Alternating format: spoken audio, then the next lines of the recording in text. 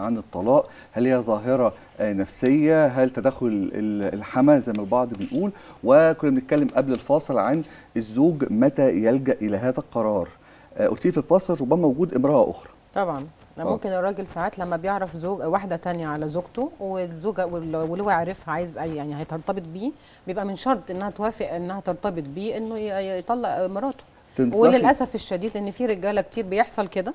وبيطلق وبيروح وبيتجوز وبيعيش فترة وبعد كده بيرجع للزوجة الأولانية.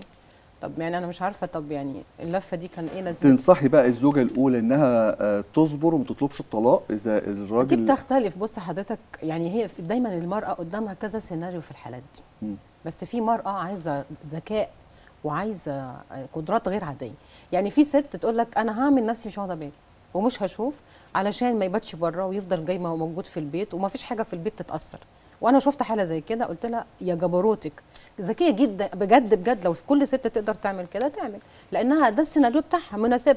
قالت لك هو خرج أنا هستقطبه بس أنا مش هعرفه إن أنا عرفت. ويلف يلف وهيرجع تاني. وفضل بقى بيعمل لها حساب. حلو قوي وجميل. ولطيف بيجيب ويجيب هدايا هدايا وبقى و- جميل وفعلا وحسن المعاملة معاه وبعدين ما بيباتش بره فاضل على طول معاه وكله تمام. هو يعني فاهم إنها مش فاهمة. فاهم إنها مش إيه مش عارفة بس هي عارفة. ده سيناريو.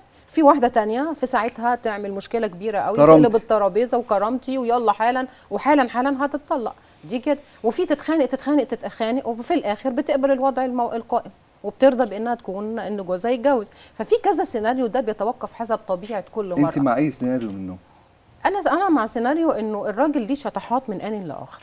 الراجل ليه الست- شطحات آه ليه شطحات من آن لآخر. الست الذكية تلم بيتها وتحافظ تعمل لأن في عشرة وفي أنت أولاد موافق إن الراجل أيوه لأن قرار الطلاق طبعاً، مش مش طبعاً، فردي زي طبعاً. ما تفضل الأستاذ نعمان قال. طلاق ال- القرار يعني طب أنت الطلاق مع أي رأي بقى؟ من الطلاق الثلاثه مش اي فردي. سيناريو منهم بما إن الراجل هيك أقريت ان هو له شطحاته. هو في جزئية برضه حسب قدرتها المالية. لو هي عندها بتشتغل. وعندها دخل مالي فالقرار بيبقى مختلف عن فتطلق كونها آه، ما عندهاش دخل ومفيش حد هيسندها في دي من ضمن العوامل اللي من ضمن برضه العوامل اللي بتأثر. تصبر.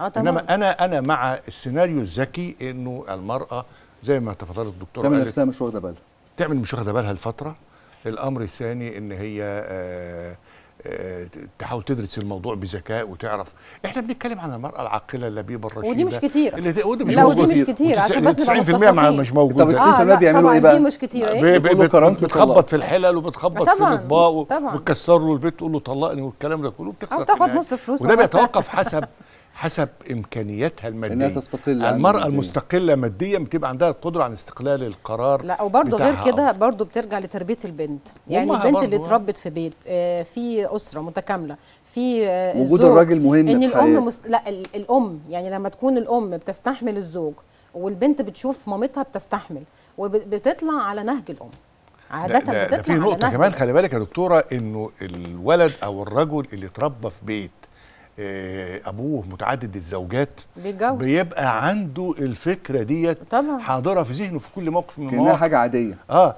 لكن. لكن ال- الولد اللي اتربى في أسرة آه أبوه وأمه عايشين في سلام أو في مشاكل بس الدنيا ماشية معاهم بيتغلبوا عليها بيبقى عنده القدرة بيبقى مش وارد في ذهنه مسألة الزواج من أخرى. يعني مفيش آه، في المسائل الاجتماعية قرار واحد منفصل. طب لو بنتكلم بقى عن متى تلجأ الزوجة إلى الطلاق يعني إمتى الست بتقول آم، العيال مش مهم البيت مش مهم سمعتي كمطلقة مش مهم أنا خلاص أنا واخدة القرار. في أسباب آه، في أسباب كتيرة جدا بتخلي الست تقول لك خلاص أنا آه، آخر يوم ليا. واحد؟ آه واحد إن هو يكون بخيل ماديا. وأي بنت خديها قاعدة لو الزوج بخيل ماديا يبقى بخيل عاطفيا. no way إن يكون واحد بي بي بيبقى كريم في الفلوس فكريم في المشاعر. أنا شفت نماذج كتيرة جدا. البخيل في في المال بخيل في العواطف الحاجة الثانية عدم الاهتمام بيها كزوجة أو كأنثى. الحاجة الثالثة إنه آه، معظم وقته في شغله. فبالتالي هو هي مش موجودة في الحياة. وعلى فكرة من طبيعة الراجل الاهتمام رقم واحد بشغله لكن انت عمرك ما تكوني رقم واحد في حياة الزوج. اساسي بس أساسية. قبل ما أرجع للأستاذ عادل. آخر اتصال تليفوني في الفقرة دي أستاذ إسلام أهلا بيك سريعا بس اتفضل. أهلا وسهلا بيك يا أستاذ أحمد بيك. آه، هو سريعا بس كده أنا كانت آه، كانت حالة انفصال و وحاليا دلوقتي الزوجة رافضة رافضة إن هي توريني طفلتي يعني رافضة توريني بنتي خالص وحاولت بشتى الطرق إن أنا أشوف البنت ب... بأي طريقة ودية لكن للأسف مش عارف أشوفها خالص و يعني من خلال البرنامج بتوجه يا رب إن تكون سامعة إن أنا محتاج إن أنا أشوف بنتي يعني هي اسمها بنتك اسمها إيه؟ الاسم الأول بس آه. اسمها إيه؟ نعم. بنتك اسمها إيه؟ مش لازم. آه جميلة. آه. طب يعني ده نداء من اب ل- ل- يعني إلى أم آه، بنت هتطلع آه، معقدة نفسيا وأنت أكيد محتاجة كأ- دي بنتك في النهاية. خلافك مع طليقك ده ما يبقاش مبرر ليكي إن أنت تطلعي بنتك آه، مشوهة نفسيا. أو نسيب رقم تليفون حضرتك وهنحاول نتواصل معاك ونحاول يعني الدكتور مسؤول عندك مانع؟ آه طبعا. لا أنا عايزة برضه؟ عايزة أقول بس حالة سريعاً. ان أنا بس. سريعا. إن أنا كان عندي لسه من ثلاث أيام حالة نفس الحكاية.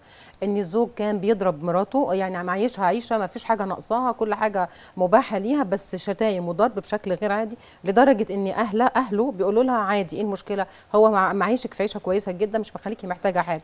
آه وصلوا للطلاق لكن هو اللي حارمها من ولاده. ده فأنا عايزة أوجه رسالة هنا لكل أب لكل أم. زي ما أنت أب هي أم. زي ما أنت أم هو أب. هنحاول نعمل بقى ده آه. برضو في الفقرات اللي جاية. آه تعليق تعليق بسيط على الموضوع. آه تعليق بسيط على الموضوع ده هتدفع الثمن غالي في إنه في فترة من الفترات الطفل الصغير ده بيبقى. في احتياج إلى أب يقوده و... و... و... ويعلمه. ساعتها مش هتعرف تجيبه لأنه هيكون راح منها تمام. الخلاف ده المفروض ألا يتأثر به الأولاد. أنا عايز بس أقول آه، إنه سريعاً. إمتى إمتى الست بتقول آه لما بيكون رجل بخيل و... وتقطعت بها السبل تماما وزهقت خلاص مش قادرة أن يكون عنيف وبيضربها وبيهينها. مع الوقت بتجد إن الإهانة مع كبر السن بتبقى مهانة شديدة جدا لها قدام أولادها. نعم. وده الراجل لازم يلاحظ الكلام ده.